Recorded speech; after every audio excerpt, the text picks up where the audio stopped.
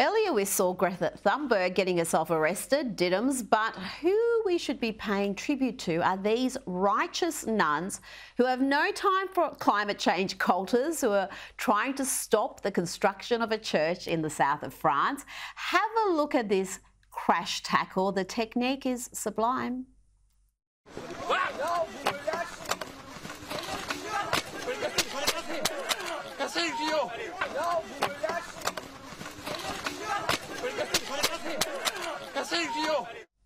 Now, two more lefties losing it, and the Just Stop Oil loonies are attacking universities with orange paint.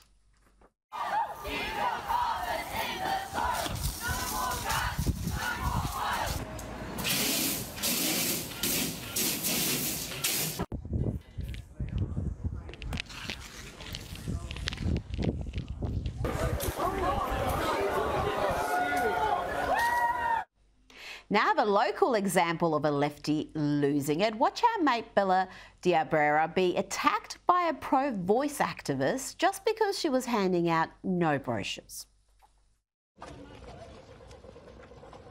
You're so racist. You. He took his You're phone. the racist. sorry, he's in- Racist. You are racist. Terrible behaviour there at Surry Hills in Sydney, and shame on the half a dozen or so pro voice volunteers who watched and said nothing. Now, you know, the left give us so much material, and a few comics are taking advantage of that. Here is a sketch exploring what happens if you come out as straight to your lefty parents. Okay, mom and dad, I'm about to leave for my date. A date? You didn't tell us you were going on a date. What's his name? Her name is Lindsay. I'm straight.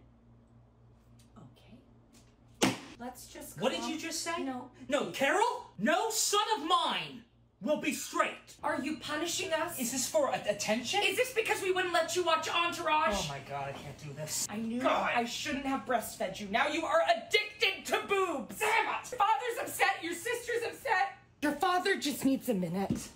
What do you think about Dolly Parton? Are you just done with her? I never cared about Dolly Parton. You never cared about Dolly Parton. Who are you? Who are you? Doctor, my son is sick. I don't know, is there a camp you can send him? Or a six week drama program? Hello? Damn it! We should have never let you go to college. They pushed their heteronormative agenda on you. You know, when you said you were gonna do lacrosse, I should have pulled you out of that school. Sweetheart, it's not that I care about you being straight. It's that I'm worried the world is going to be mean to you. You are not my son!